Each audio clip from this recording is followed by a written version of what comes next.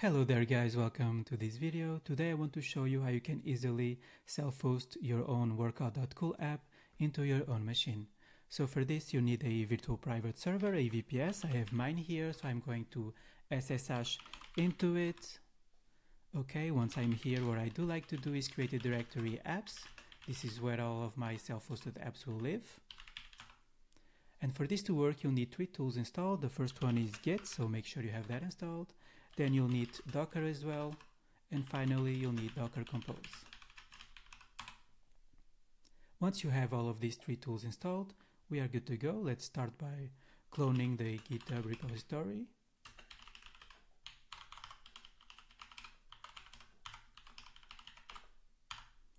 workout-cool.git. Okay, let's change directory into it and here we have our source code. The first thing we want to do is copy the example environment file to our own .env file and here we want to edit it to change a couple of things. The first thing we need to change is the DB host. We need to swap localhost to Postgres. Same from the for the connection string.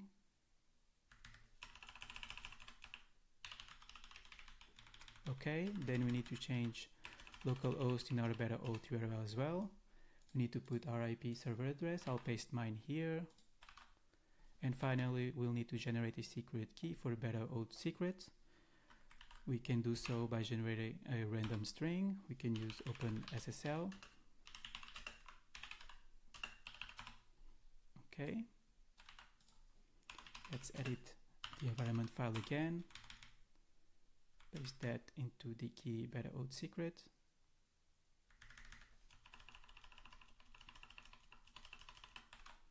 And we are good. You can also notice that in our .env file we have another uh, variable that is named seed sample data. This is by default set to true. And this what this will do is actually uh, load the, the .csv file you have under the data folder here. So if you have your own set of exercise, you can paste them into this CSV file.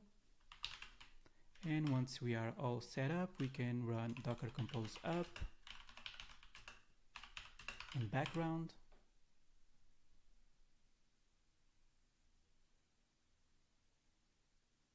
Okay, cool.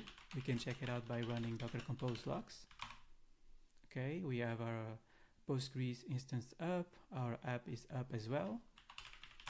So now we can access our self-hosted app by opening up a browser, by going to our IP server address with a matching port of 3000. And there you go guys, we now have our own workout.cool app and we are ready to go to start using the workout tracker. I hope this video will be helpful and see you guys soon. Bye.